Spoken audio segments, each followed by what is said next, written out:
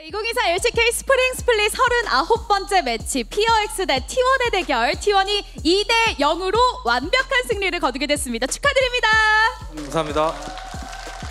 네, POG를 받은 제우스 선수, 케리아 선수와 인터뷰 나눠보도록 하겠습니다. 피어엑스를 꺾고 7연승에 성공하게 됐습니다. 단독 1위에 오르셨는데요. 승리 소감 여쭤볼게요. 먼저 제우스 선수. 어, 일단 계속 지금 이제 1등 올라갔다 내려갔다 하고 있는데 그래도 또 다시 1등 하니까 기분 좋고 열심히 해야죠. 네. 네, 열심히 하는 모습 계속해서 지켜보겠습니다. 케리아 선수도 승리 소감 들려주세요. 어 일단 기분 좋고 꾸준히 계속 연승할 수 있도록 잘 준비해야 될 것 같습니다. 네, 좋습니다. 어, 케리아 선수 1세트 bottom에서 특이하게도 이즈리얼 서폿이 등장했는데요. 이게 11년 만인 3,943일 만에 등장을 했다고 합니다. 그 당시에 푸만두 선배님께서 원딜 리신과 함께 하셨더라고요. 이렇게 서폿 이즈리얼이 등장하게 된 배경이 있을까요?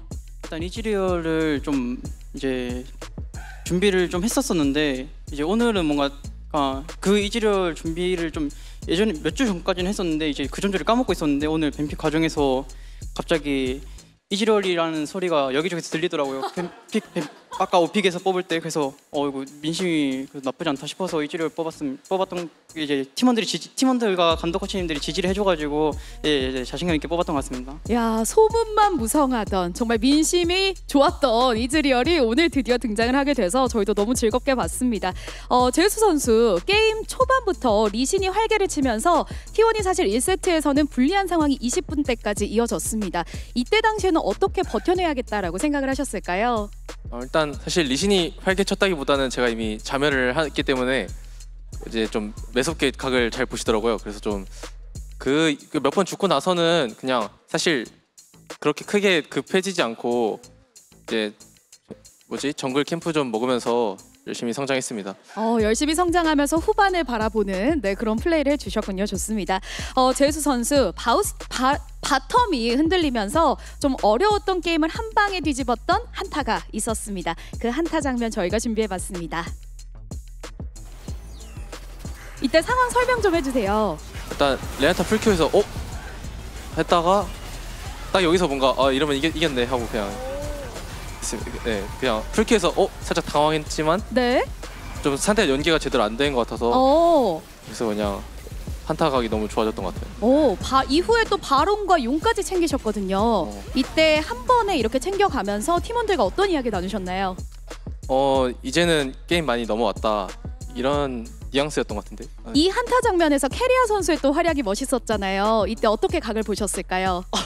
아 아까 이제 그 상황에서 이제 저만 poking할 수 있는 그거였는데 이제 상대가 좀 급하게 만들면은 상대가 자멸할 거라 생각해서 계속 포지션 앞으로 잡고 계속 그냥 까불었던 것 같습니다. 어, 네. 제우스 선수가 또 아트록스만 잡으면 캐리력이 배가 되는 것 같은데요. 현재 스프링에서만 6전 전승 중이고요. 아트록스와 오리아나가 함께할 때마다 또 진 적이 없습니다. 지금 5전 전승 중이거든요.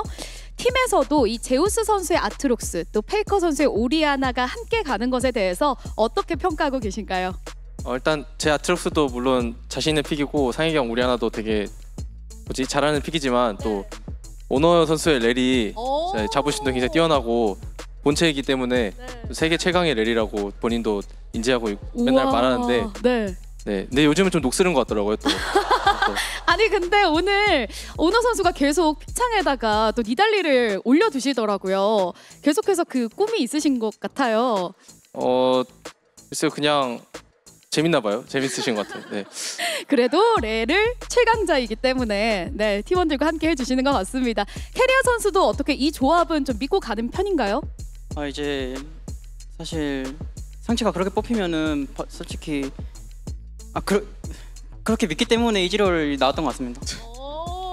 어왜 왜 비웃으셨죠? 아, 아니 아니 아니 아 그런 조합 덕분에 또 이렇게 이즈리얼 서폿이 등장할 수 있었다라고 이야기 주셨습니다. 어 케리아 선수 2세트도요 오랜만에 또 등장했습니다. 서폿 니코였는데요. 사실 케리아 선수의 니코는 오늘 또 활약을 엄청나게 해주셨는데 이렇게 pick하게 된 배경이 있을까요?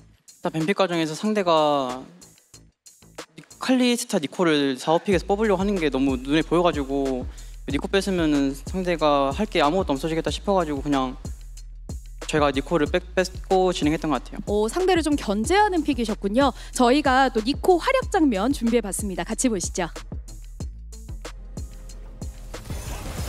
녹턴 궁과 연계해서 만개를 굉장히 잘 쓰시더라고요. 그동안 또 페이커 선수의 만개를 봤기 때문일까요? 어떤 활약이 있었을까요? 이제 상혁이 형이 니코 할 때마다 이제 워낙 좀 아티스트 느낌으로 되게 잘 열기 때문에 그걸 잘 뒤에서 보면서 이제 니코 저렇게 여는구나 하면서 이제 마음속으로 인지하고 있었는데 오늘 니코 각이 나왔는데 잘 됐던 것 같습니다. 오, 좋습니다. 어, 계속해서 또 새로운 pick을 시도하고 있는 우리 케리아 선수인데 앞으로 또 어떤 카드를 꺼낼지가 기대가 됩니다. 또 이 모든 걸 감내하고 함께 해주시는 구마유시 선수에게 한마디 부탁드릴게요. 어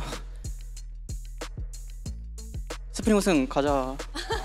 그래서 그리고 일단 뭐 이렇게 제가 이렇게 뽑을 수 있는 이유는 다 팀원들과 구마 선수랑 감독 코치님들 때문이기 때문에 감사하다고 생각합니다.